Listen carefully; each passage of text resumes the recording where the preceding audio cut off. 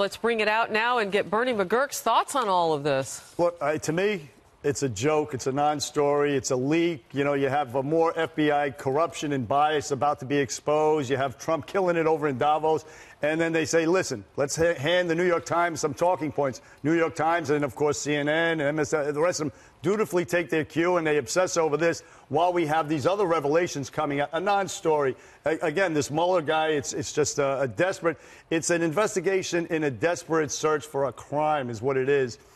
And it's, it's tainted, it's corrupt, the whole thing. It, does it matter at all, Kennedy, that there is uh, reporting in a trail that there were discussions with Rosenstein and others about whether or not this was an option? I think it does matter. And I think there are different things here, and you have to be able to pull apart what's happening in this presidency because there are phenomenal successes, and they will continue to flourish uh, as the president's economic agenda uh, really takes hold. And that's one thing, that's something he can sell in Davos. The other thing is he's a political novice and at, at sometimes is also a victim of his own flights of fancy.